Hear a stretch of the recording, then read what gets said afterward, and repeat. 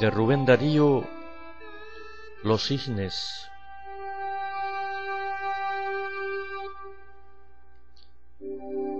¿Qué signos haces, oh cisne, con tu encorvado cuello al paso de los tristes y errantes soñadores?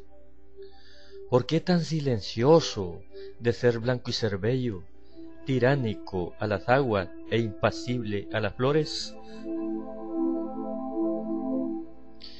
Yo te saludo ahora como en versos latinos te saludara antaño Publio, Ovidio, Nazón.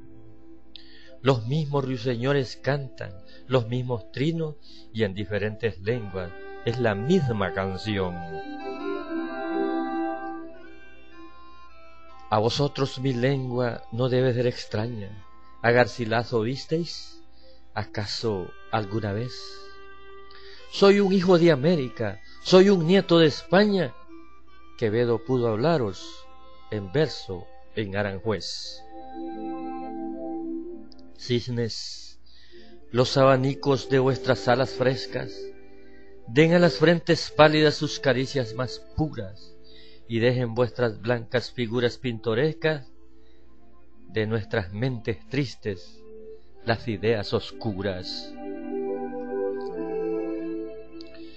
Brumas septentrionales nos llenan de tristeza. Se mueren nuestras rosas, se agostan nuestras palmas, casi no hay ilusiones para nuestras cabezas y somos los mendigos de nuestras pobres almas.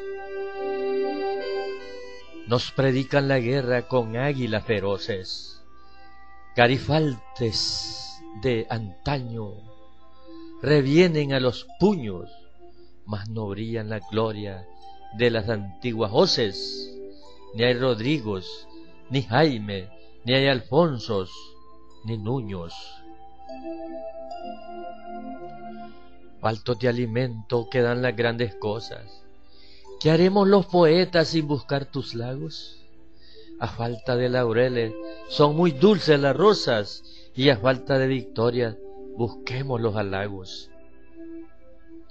La América española, como la España entera, fija está en oriente de su fatal destino. Yo interrogo la esfinge que al porvenir espera con la interrogación de tu cuello divino. ¿Seremos entregados a los bárbaros fieros? ¿Tantos millones de hombres hablaremos inglés? Ya no hay nobles hidalgos ni bravos caballeros callaremos ahora para llorar después. He lanzado mi grito, cisnes, entre vosotros que habéis sido los fieles en la desilusión, mientras siento una fuga de americanos potros y el estertor postrero de un caduco león. Y un cisne negro dijo, la noche anuncia el día y un blanco. La aurora es inmortal, la aurora es inmortal, oh tierra de sol, y de armonía aún guarda la esperanza de la caja de Pandora.